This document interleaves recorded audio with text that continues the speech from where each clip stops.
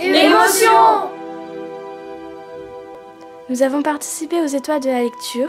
Parmi les cinq livres, nous avons choisi La vie rêvée de Joséphine Bermude et Sans papier. À la place de l'habituel bitume gris et terne, une végétation luxuriante s'étendait à perte de vue.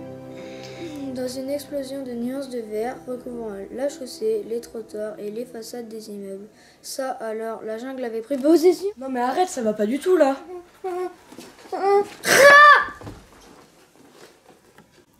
À la place de l'habituel bitume gris et terne, une végétation luxuriante s'étendait à perte de vue.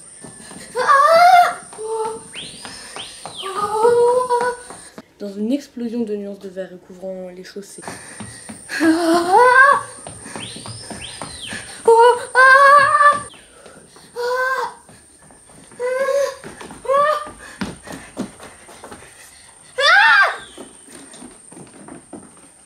Les trottoirs et les façades des immeubles. Ça alors, la jungle avait pris possession de la ville.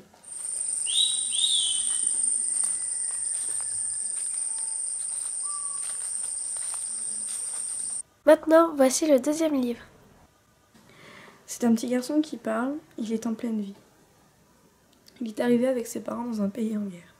Il a compris que pour rester ici, il faut avoir des papiers, c'est ça le but.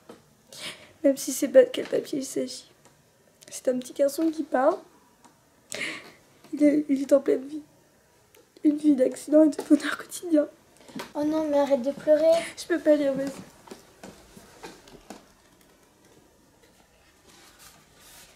Mes parents m'avaient dit qu'on était pressés parce qu'il n'y avait pas assez de place pour tout le monde sur le bateau. Alors j'ai sauté dans une sorte de grosse pirogue qui devait nous emmener en Europe. Et dans l'Europe, c'est là qu'on trouve la France.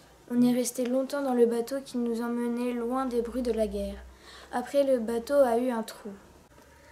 Avec une casserole, mes copains et moi, on vidait l'eau. J'avais envie de me fâcher en voyant des adultes pleurer. Ils avaient bien le droit de pleurer, mais pas ici, dans un bateau qui pouvait couler. Non, mais ils ne se rendaient pas compte qu'on ne pouvait pas écoper leurs larmes en plus de la mer.